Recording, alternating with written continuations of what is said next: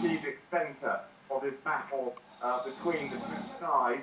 Uh, the, uh, the, the mortars which came in while we were there probably have no further range than about 10 kilometres, that's about uh, 7 miles. Uh, so